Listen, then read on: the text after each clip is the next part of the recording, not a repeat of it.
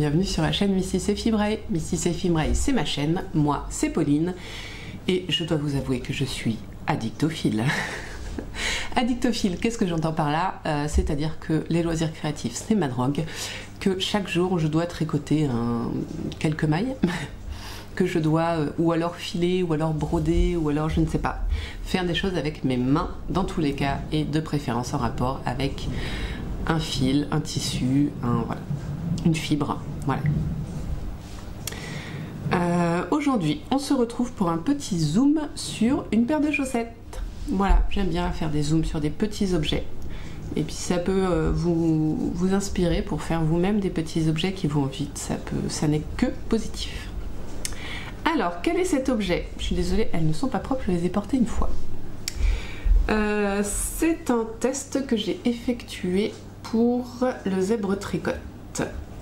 Donc c'est sa laine que bah, du coup je lui avais acheté pour le test et son patron qui se trouve être les chaussettes zébrures je crois qui est un patron pour euh, booster un petit peu le...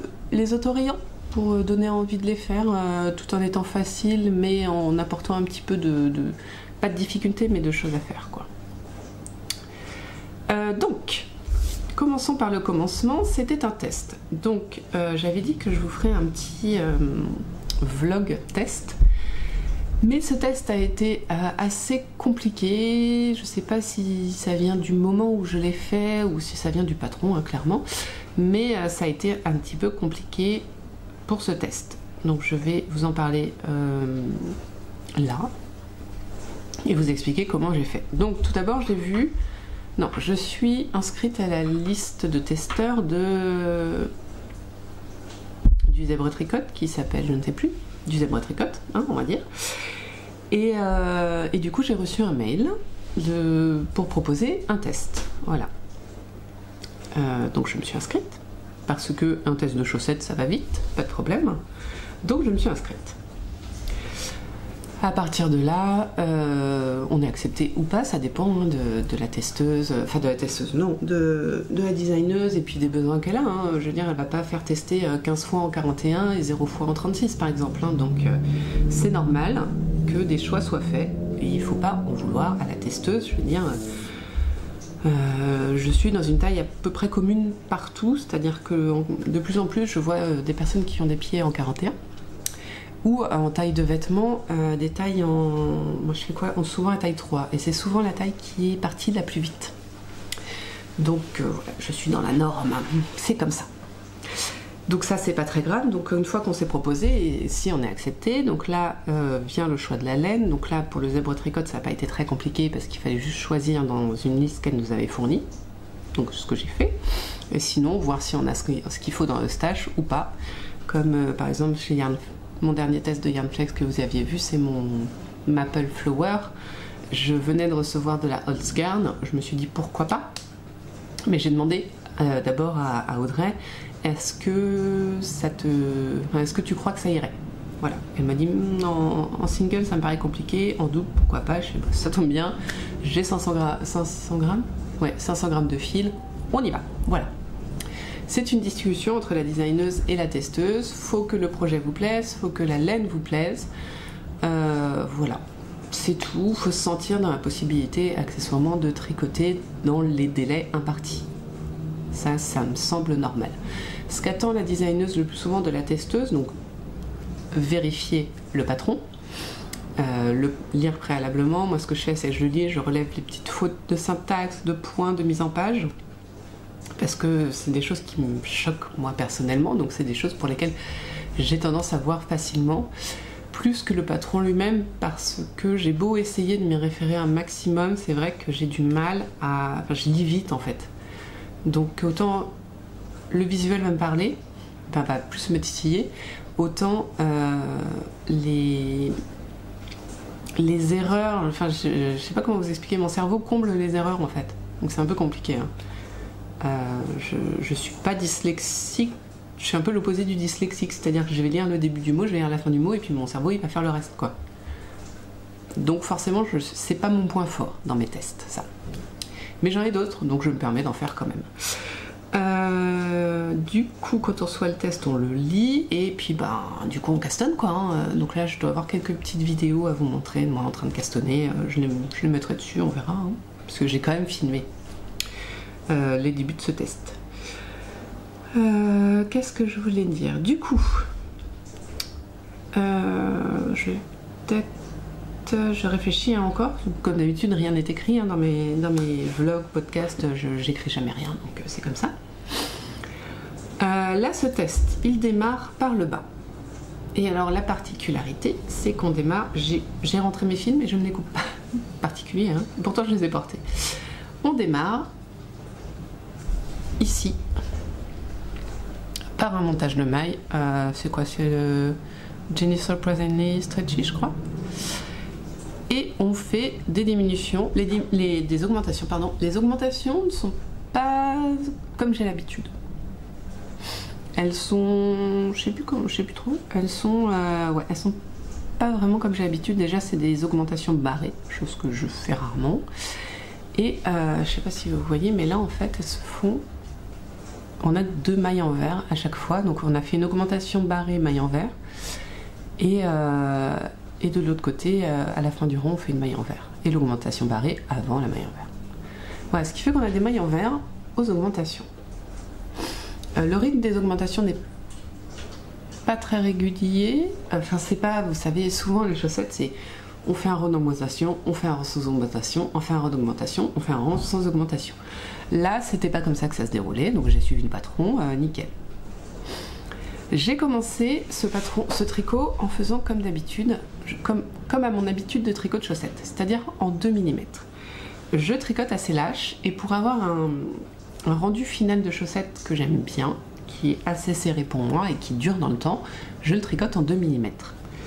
Sauf que là, euh, j'avais quelque chose comme 20 mailles ou 10 cm d'écart avec le patron, le, ce qui était demandé dans le patron. Et la particularité de ce patron, euh, c'est que il n'est pas, on ne choisit pas sa taille en fonction de la largeur de son pied, comme souvent dans les patrons de chaussettes, mais en fonction de sa pointure. Donc, euh, en général, je fais la plus grande largeur parce qu'en 2 mm, c'est- ça resserre beaucoup, donc je fais la plus grande largeur, donc 64 mailles. Et là, euh, c'était loin du 64 mailles et euh, et du coup, on calculait plutôt sur la longueur du pied et non plus sur la largeur. C'est-à-dire qu'au lieu de se référer sur l'échantillon, au lieu de se référer, comme on fait d'habitude, sur le nombre de mailles, là, euh, le nombre de mailles, on se réfère sur le nombre de rangs. Et ça change tout, parce qu'autant euh, on peut bidouiller quand c'est sur le nombre de mailles, autant quand sur le patron c'est écrit en nombre de rangs et pas en nombre de centimètres, euh, eh bien c'est plus compliqué de bidouiller. Donc j'avais fait une première fois le truc et j'avais du mal à rentrer mon pied, clairement. hein, sur du, enfin j'avais vraiment 20 mailles d'é- d'écart entre euh, la largeur et même la longueur et le patron. Là est venu. euh, souvent je, m'arrange, j'arrive à gérer à peu près. euh, sur des pulls, mon échantillon, je prends une autre euh, longueur, mais là, ça me perturbait parce qu'on est sur de la chaussette. Et la chaussette, il faut que ce soit serré pour que ça dure dans le temps. Dites-moi si vous pensez autre chose, hein. enfin je suis ouverte au... Et, et là, eh ben j'ai... C'est là que le test, comment dire, la partie test, c'est... Heurté à ma logique. C'est-à-dire que ça aurait pas été un test. J'aurais bidouillé, j'aurais fait autre chose. Mais là, c'était un test et j'avais à cœur de, suivre ce que. d'essayer d'avoir le rendu que souhaitait avoir Lisa, donc qui est le zèbre tricote. Et du coup, j'ai défait et j'ai refait en 2,5. Je crois que j'ai pris les 2,5. Oui, j'ai pris 2,5 comme recommandé. Même avec 2,5, euh, mon. mon. comment on dit Mon échantillon est toujours un petit peu plus petit en nombre de mailles que ce qui est recommandé euh, dans le patron, mais en nombre de rangs on était bon, donc ça allait. Euh, du coup j'ai recommencé, voilà.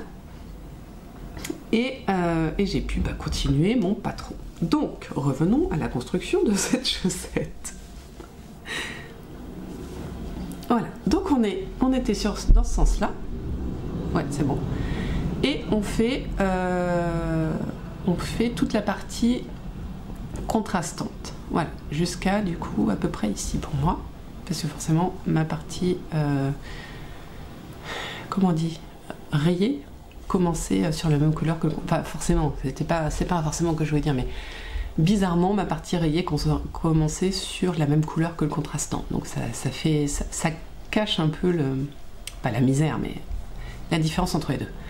C'est dur. Hein Donc une fois qu'on a fait ça, avant d'arriver, non, après avoir relié le contrastant et le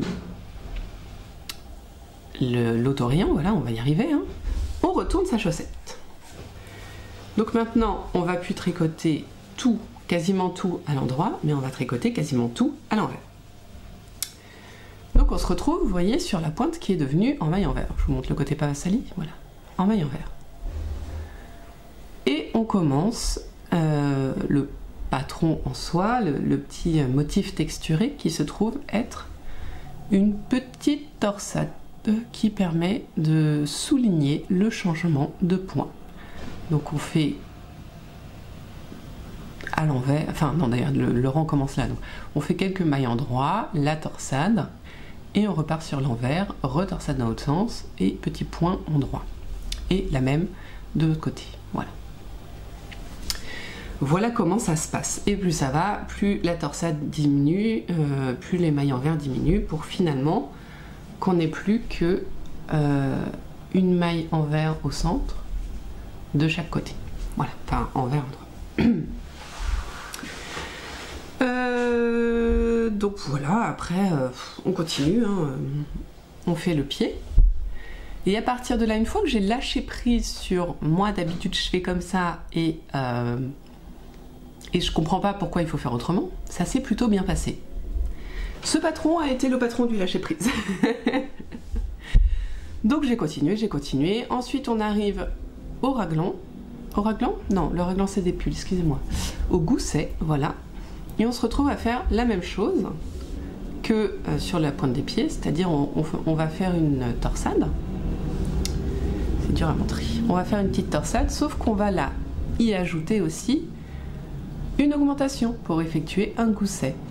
Et l'augmentation, en fait, c'est ce qui est bien, ce qui est bien fait, c'est qu'on va sur un rang, on va faire la torsade, sur l'autre rang, on va faire l'augmentation.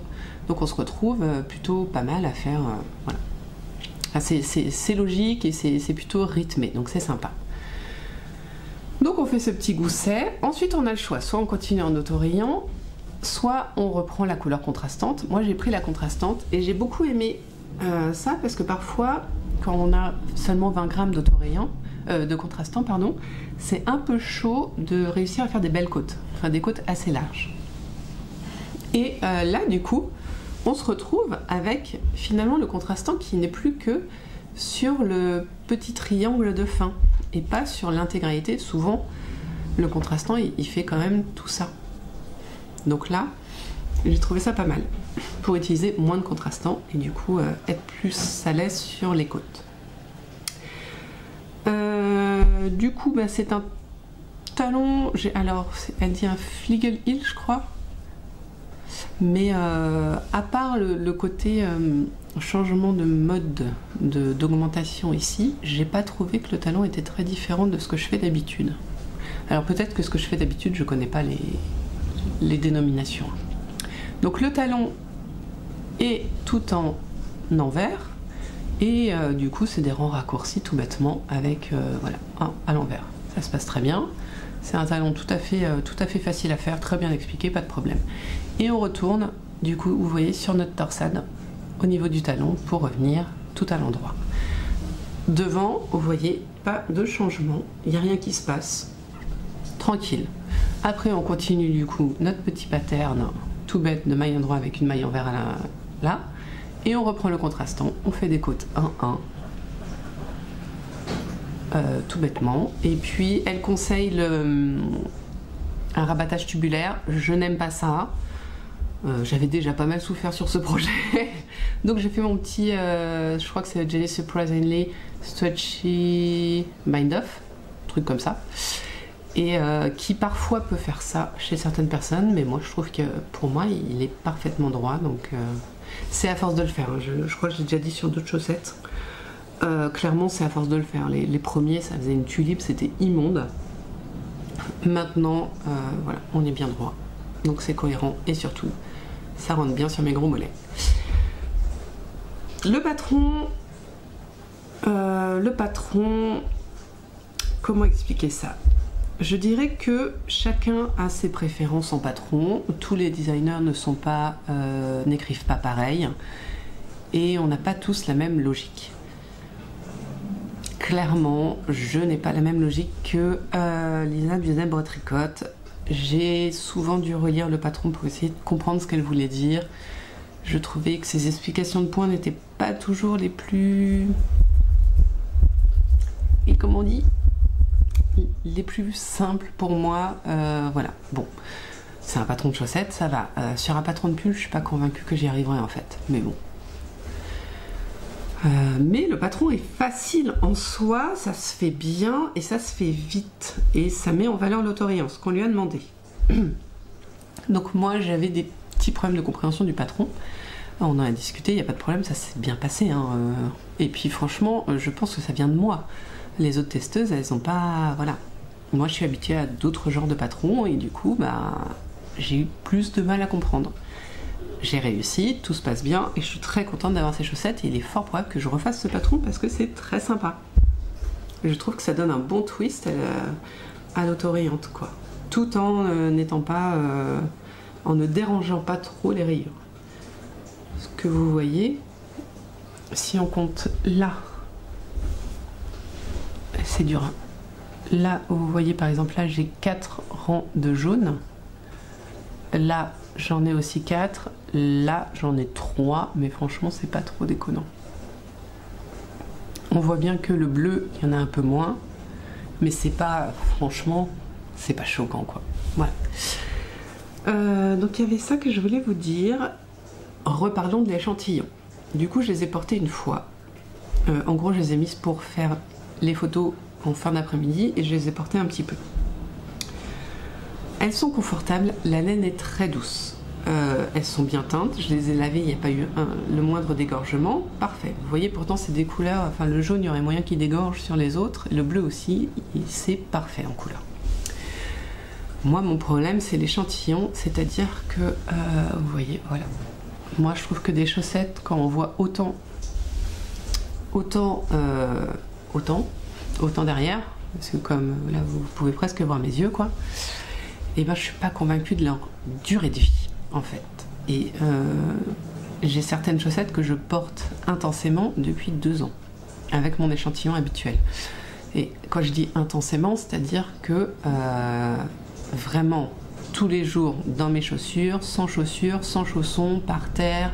Parfois, je vais jeter la poubelle qui est dehors. Je les porte, quoi, clairement. Euh, là, je pense que celles-ci, elles, elles vont pas tenir le coup, quoi. Euh, comment vous montrer ça euh, J'essaye de réfléchir. Vous voyez, ça c'est le talon. Vous voyez le mur blanc derrière, quoi. Euh, le dessous des pieds, c'est pareil. Et c'est quoi ça? Oh non, ça c'est moi qui filme comme. Le dessous des pieds, c'est pareil. Pour moi, je vois mes doigts, quoi. Vous voyez, on voit mes doigts. Pour moi, c'est pas des chaussettes qui vont vieillir. c'est des chaussettes qu'il va falloir repriser. Ce qui est dommage, hein, mais l'échantillon pour moi, bien que ce soit, j'ai regardé, hein, du coup, comme je suis habituée à, faire les patrons d'Audrey Yarnflex, j'ai regardé l'échantillon de Yarnflex sur euh, certains de ces modèles, c'est quasi celui-là. Mais pour moi, ça colle pas. Je préfère des trucs plus serrés. Et euh, là où, avec les patrons de Yarnflex, il y a moyen- de jouer sur la taille et, euh, et comment dire, de, bah, comme, comme le patron est prévu pour.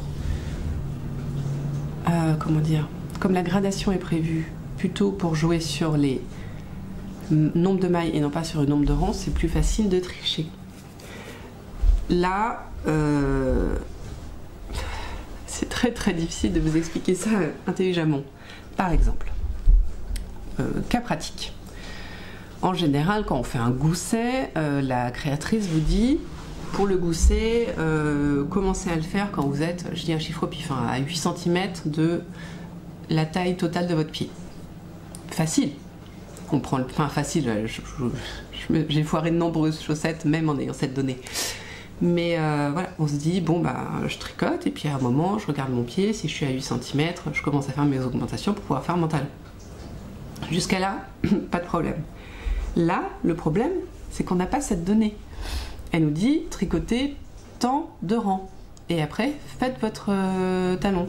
Alors oui, il y a la possibilité de euh, retravailler le patron, de prendre l'échantillon, de faire un, produit en croix, de prendre son échantillon à soi, de refaire un produit en croix, tout est possible.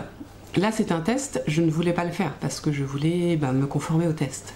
Mais du coup, eh ben, eh ben, on en est à ce problème qui est que pour moi, elles vont pas vieillir et ça va pas venir de la laine, ça va venir de mon échantillon. Clairement, la laine est très bien. Mon échantillon, pour moi, est trop lâche. Voilà C'était long hein, comme épisode. J'espère que je vous ai pas trop saoulé. Euh, j'espère que je vous ai quand même donné envie de faire ce patron parce qu'il est très très beau et que, euh, et que bah, si vous avez tendance à avoir le même échantillon, ne vous privez pas. J'espère que j'ai pas été trop négatif parce que euh, parce que j'ai pas envie en fait d'être négatif sur ce projet parce qu'il était très sympa, mais qu'il y a des petits points qui m'ont interloqué. Voilà, et je voulais vous en faire part parce que je suis, euh, je suis, euh, voilà, je suis honnête avec vous. Euh, dans tous les cas, la laine, elle est super. Les, coloris sont très sympas. Elle avait plein de super coloris. Là, elle a fait tout un truc sur les gris, c'est super. N'hésitez pas à aller voir son Etsy ou son Insta. Et, ce patron est très sympa, très très très très joli à porter. Hein. j'ai plein de jolies photos et je suis très contente de l'avoir fait. Euh, et, je voulais dire aussi que par rapport à l'échantillon, moi je faisais la taille maximale, donc je ne pouvais pas changer pour aller sur une taille plus grande. Mais si vous faites un 36 et que vous voulez un échantillon plus serré, vous pouvez prendre le 41, je pense que ça va marcher. Il n'y a pas de raison. Voilà. J'arrête, euh, j'arrête de, parler de ce patron. Euh, elles vont aller dans ma boîte à bas après avoir été relavées parce qu'elles sont un peu crassouses. Et puis, et puis voilà, j'espère que, que J'espère que vous aurez apprécié cet épisode et, euh, surtout, euh, surtout, je voulais pas. Euh, enfin, je voulais vous parler du patron, je voulais vous parler de mes doutes par rapport à ce patron, mais n'hésitez pas à le faire parce qu'il est vraiment fun. Et, voilà, et c'est pas du tout contre le travail de Lisa, qui est un travail, un super travail. Voilà. Mais on n'a pas les mêmes logiques. C'est comme ça. Sur ce, je vous laisse. J'espère que je vous ai pas trop saoulé. On se retrouve de toute façon pour le vlog. Et puis, euh, et puis tricotez bien, filez bien, brodez bien, euh, quoi d'autre, euh, cousez bien, enfin voilà, vous faites bien ce que vous voulez de vos dix doigts. Et puis si vous avez juste envie de profiter du soleil qu'il n'y a plus, ou de vous reposer, ou de rester sous votre lit parce qu'il pleut dehors, faites-le, profitez de vous, profitez des vôtres, c'est important de prendre soin de, de sa famille et de soi-même. Et puis, et puis on se retrouve de toute façon très très vite dans euh, de nouvelles vidéos.